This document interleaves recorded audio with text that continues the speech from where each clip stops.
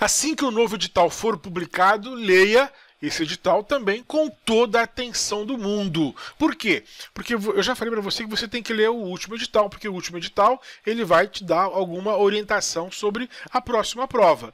E e é quase impossível que o novo edital, o próximo edital, seja muito diferente do edital antigo. Então, o edital antigo vai te dar muitas pistas sobre como vai ser a próxima prova regida pelo próximo edital. Mas quando for publicado o novo edital, você precisa ler esse novo edital de forma integral, na sua íntegra. Por quê? Porque sempre acontecem mudanças. Então é importante ler com atenção o novo edital. Não deixe de fazer isso em hipótese alguma.